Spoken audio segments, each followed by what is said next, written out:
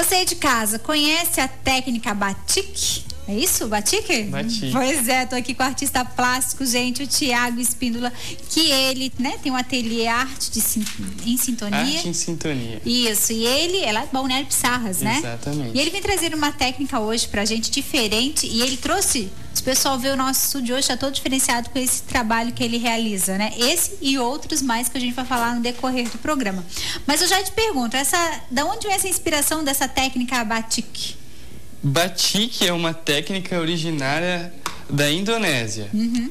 Mas eu aprendi ela com uma grande artista amiga minha, lá de Pissarras mesmo. Uhum. E desde que eu aprendi ela, não consegui mais parar de fazer, porque é muito simples e dá de reproduzir bastante desenhos bem interessantes. E ela é fácil de fazer? Tem material especializado? É, não, o material se encontra em qualquer loja normal, assim, uhum. de material de construção e é simples de fazer. Uhum. Até é, quando ela foi criada, não tinha luz, não tinha eletricidade, então era totalmente artesanal. Uhum. Hoje em dia, a gente já tem o auxílio de outros instrumentos que faz a gente fazer mais fácil, uhum. mas ainda continua sendo bem Só facilitou, artesanal. mas é. o trabalho é artesanal. Exatamente. A base de, que a gente vai utilizar são os pincéis, a tinta, qual é? É, primeiro a gente, para utilizar, para fazer o batik, a gente vai precisar de parafina granulada, uhum. cera de abelha também, vamos precisar, as tintas à base d'água, qualquer tinta serve, uhum. o tecido, né, qualquer superfície que você quiser fazer o batik, uhum. bem preso, as taxinhas ajudam nessa hora. E uma panelinha, essas panelas de depilação a gente utiliza uhum. e elas fazem um trabalho para derreter a cera e deixar ela bem líquida. Ah, é porque a gente tem que derreter a cera. É, a cera tem que estar bem derretida. Uhum. Daí, a partir da cera derretida, a gente faz o desenho que a gente quiser. Uhum. Aqui eu vou fazer só, um, só para mostrar como é. Uhum. Isso aqui é um tecido específico que tem que ser utilizado ou ela pode ser utilizada em qualquer, qualquer material? Tecido, é. Uhum. Até em madeira a gente faz, em qualquer outra superfície que dê. É, tipo, a gente vai fazer o batik, mas depois vamos ter que tirar toda essa cera. Ah. Então, para tirar a cera, vamos precisar de um ferro, ferro. de passar roupa e bastante jornal velho para ir para fazer. É, para A gente vai mostrar um pouquinho para vocês aí de casa, né? É, aqui você primeiro fez um desenho é, com um giz Eu fiz só é, normal. normal, só uhum. para eu ter uma base. Uhum. Eu pego a cera, ela vai pingar, a gente vem com aqui e assim, passou. Quando passa, ela já prende no tecido. Uhum. Bem pouquinho, ó. aqui não prendeu mais, então temos que passar de novo. Que bom. Isso. Tá, aí dentro tem a cera. É, a cera e a parafina granulada. E a parafina, elas, elas se dissolvem, né? Porque é, aquela, exatamente. aquela maquininha que faz no a calor, depilação, é. deixa quentinho a cera, então aqui a gente tá usando os dois. E é para trabalhar. Daí a gente vai passando e tem que ser de pouquinho em pouquinho. Isso que faz essa técnica batik ser tão minuciosa, tão às vezes até demorada, mas uhum. tem que ser sempre de pouquinho em pouquinho.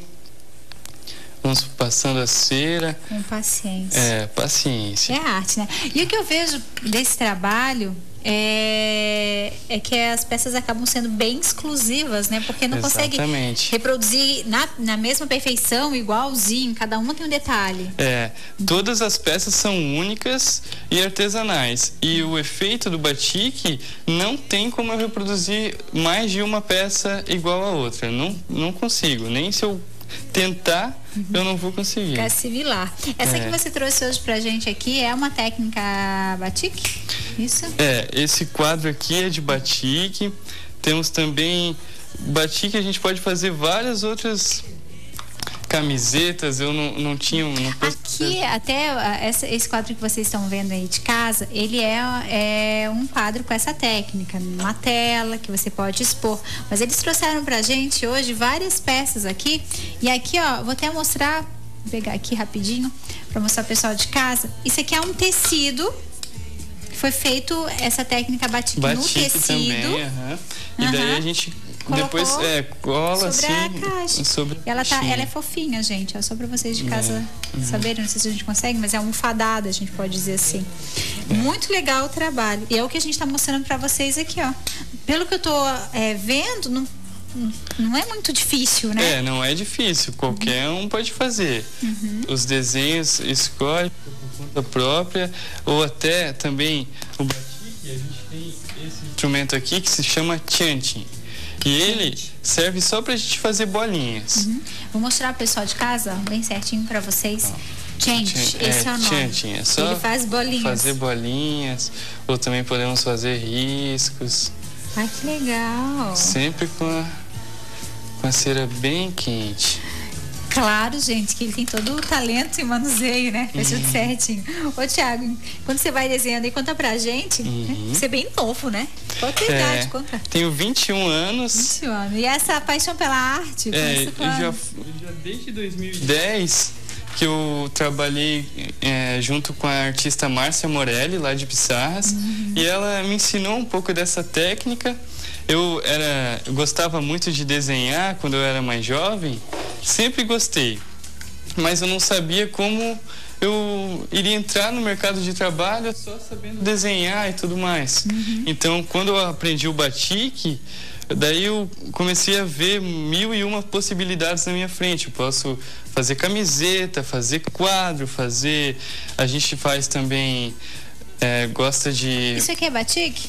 Não, esse aí é de. É uma outra técnica. É, esse aí é de canetinha de tecido mesmo. Ah, e vocês realizam isso também? Eu, é, a gente que faz. Olha só, mas daqui a pouquinho a gente conta mais. Com né? certeza. Que legal, personalizando até essa é. parte, dá para fazer tudo.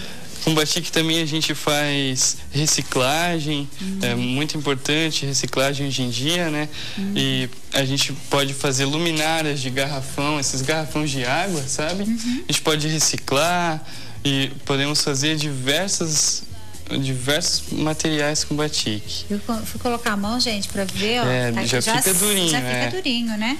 Já fica durinho. Eu só vou fazer um sol assim rapidinho, uhum. só pra gente ver.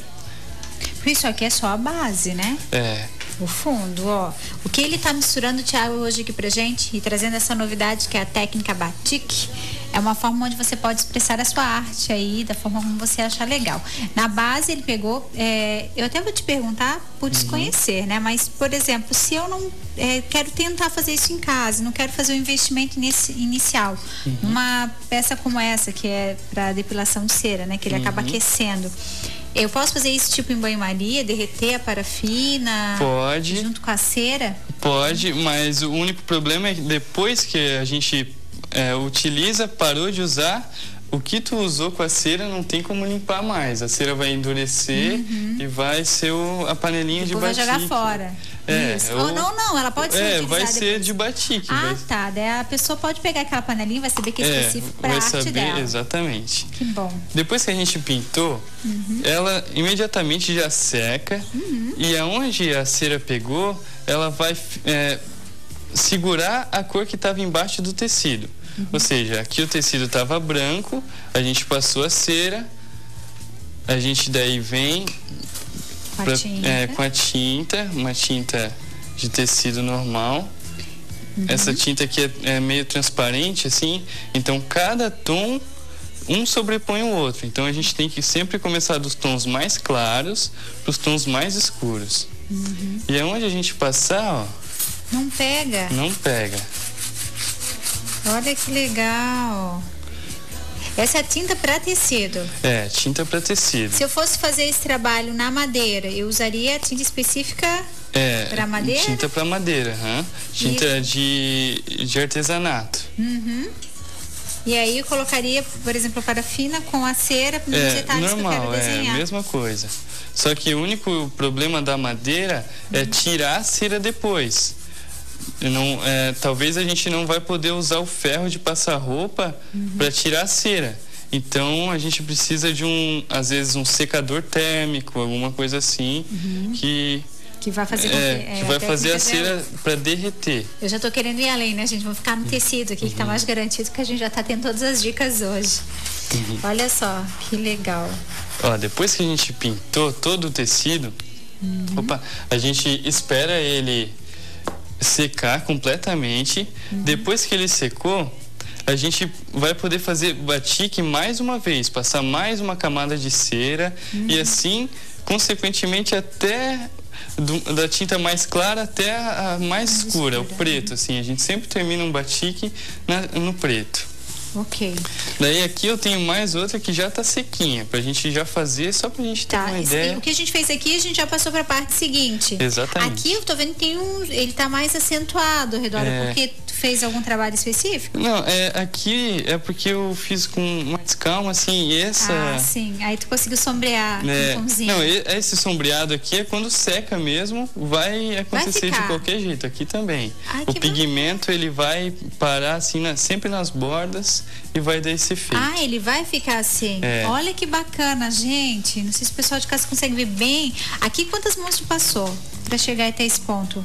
Aqui é o mesmo ponto, é o mesmo tom. É só que a, o pigmento é um pouco diferente a cor. Só ah, que é o mesmo entendi. processo uhum. que a gente está aqui, a gente está aqui. Uma mão tu passou é, só. uma mão. Mas aqui a, a tinta já está seca, então uhum. ela já fica de outra cor. De outra cor. Que aqui bom. a gente pode passar a cera mais uma vez com a tinta é, bem sequinha. E a gente vai fazer mais uma vez. Olha só, eu ainda posso refazer?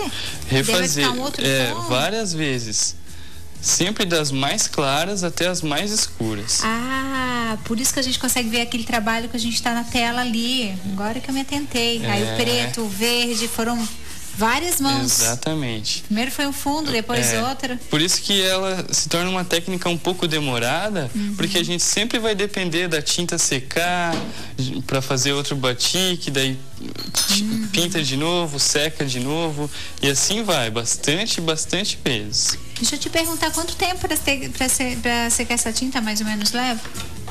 Ah, depende. Se deixar assim no tempo, numa janela com vento, vai levar assim em torno de uma, duas horas.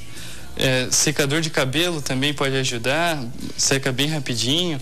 Mas se a gente deixar aqui, vai demorar um, um tempinho assim. Ó, daí eu já fiz aqui mais uma camada. Okay. Dessa camada, deixa eu só botar aqui. Uhum. A gente vem e pintamos mais uma vez, agora com laranja. Laranja. Já secou, gente, ó, é rapidinho. É, rapidinho. Passou, já tá seco, ó. Já posso pintar. E segurei duas cores já.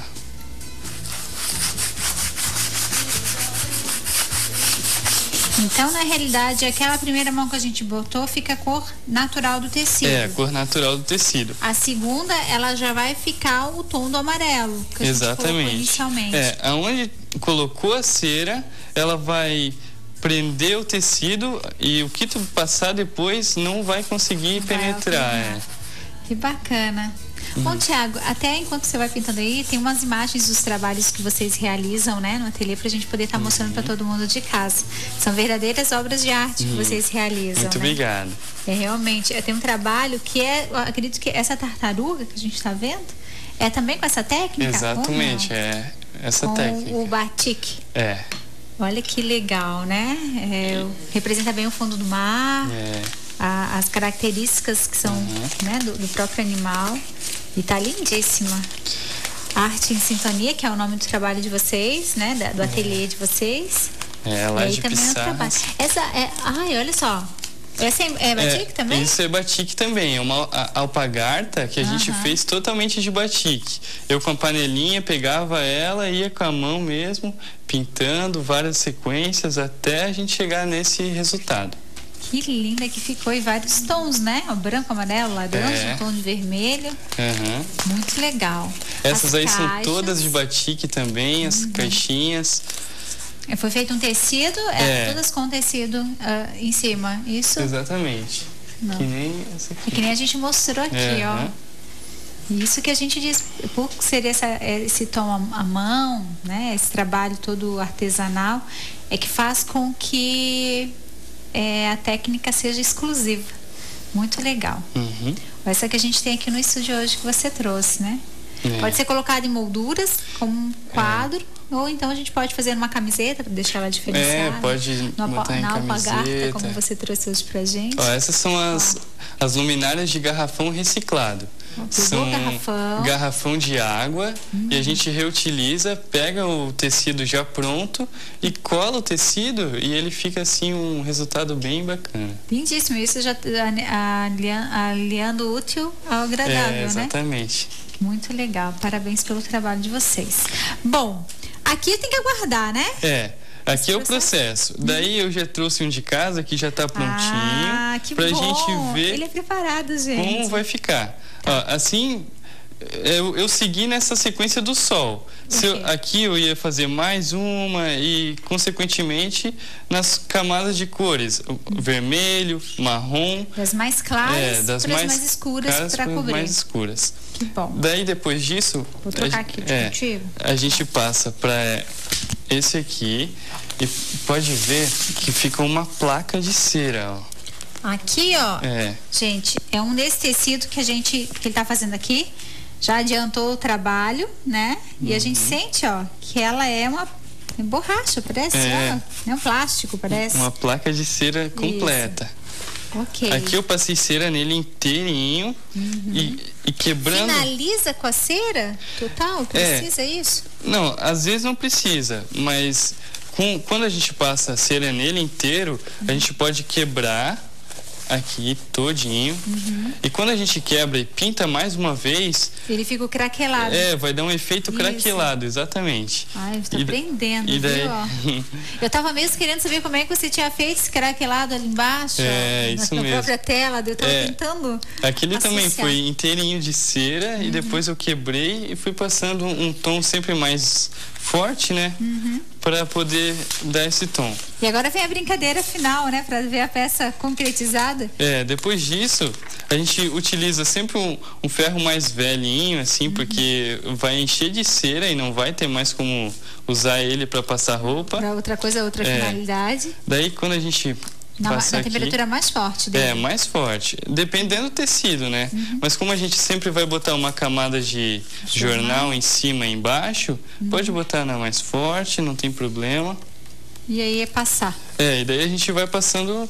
É, a dona de casa sabe bem, né? Passar roupa, não que tem segredo. passar roupa mesmo. Que bom. Eu tô tá. louca pra ver como é que isso vai sair.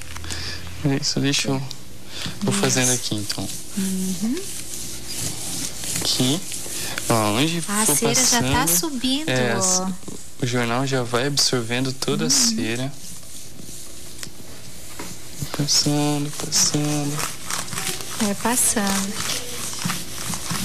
Muito legal essa técnica. Batik, gente, aprendendo hoje aqui. Isso é uma ideia que a gente está fazendo numa tela, que você pode fazer aí nas camisetas. Quem tem um grupo, por exemplo, de amigas, quer fazer uma peça diferente para o grupo, ó, uhum. ficou aí a sugestão. Tiago, essa cera, né? Essa, essa, forma de passar o ferro aqui, uma vez só já basta ou tem que fazer várias? Não, várias sessões, até várias o sessões. tecido ficar completamente uhum. sem cera nenhuma. Eu posso tirar aqui? Pode. Te ajudar aqui, ó. Ah, obrigado. Ó, daí a gente vai passando e vai vendo que vai dando um resultado bem bacana. E cada uhum. vez vai ficando mais molinho o tecido. Quando a gente, quando a gente vê que está bem molinho mesmo, é mais ou menos umas três ou quatro camadas que eu passo para tirar a cera, ele já fica bom. Dá para usar também outra, outra técnica para tirar cera, que é água fervente. Se eu tivesse uma panela de água fervendo, eu poderia jogar esse tecido e é assim que a, o tecido entrar, o, o, o tecido vai para o fundo da panela e a cera fica toda na superfície. Daí pode vir recolher assim com uma a água uma tem colher. que estar em ponto de ebulição. É, exatamente. E aí tira a cera. E daí e já tira na mesma hora. Acho que é assim que você faz em casa também, que a demanda é maior, é, né? Uhum. Seu ateliê. Que bom. Hoje você está acompanhado aqui também, né? É. é, a companheira conta, tra uhum. trabalha junto com você? É, a Luana, minha namorada, e também a gente trabalha junto, montamos ateliê juntos. Ai, que bacana. E a gente, assim, gostamos de arte os dois, então resolvemos trabalhar independente com a arte.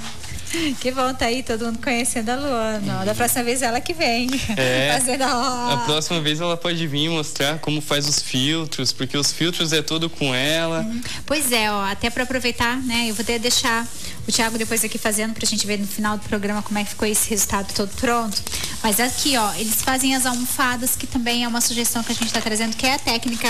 Técnica é, do, do batik, batik também. Tem os filtros dos sonhos, que tem toda uma história, quem acredita e tudo mais, que traz boas energias, elas ela faz, né? Isso quem faz é a namorada do Thiago, que na próxima oportunidade ela vai vir ajudar a gente.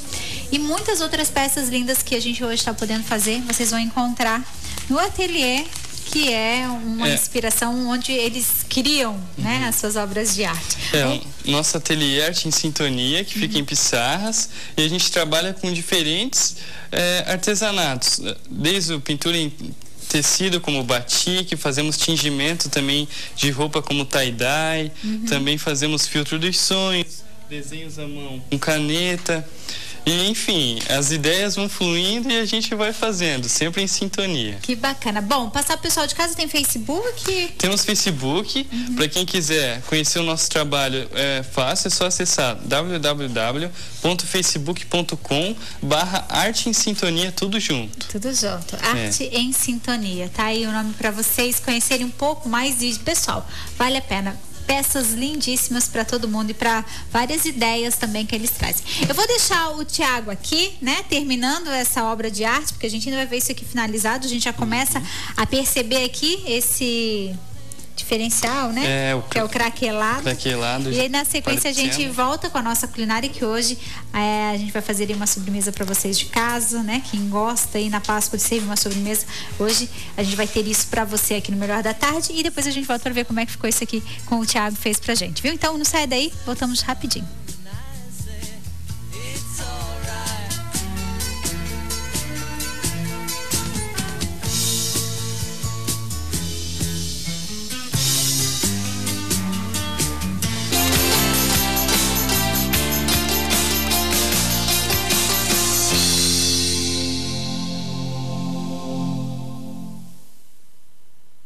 Mas antes quero agradecer e mostrar para vocês. Está aqui, ó, tecido pronto para tela, para camiseta, para o que você quiser, pode lavar, não estraga, tá sempre bonito. E essa é a obra de arte que o Tiago fez hoje pra gente. Obrigada, Exatamente. viu, Tiago? Parabéns. Eu agradecer a oportunidade de estar aqui, podendo mostrar o tra nosso trabalho do Ateliê Arte em Sintonia. Uhum. E essa linda técnica que é o batik. Que bom. Obrigada, Muito viu, obrigado. mais uma vez.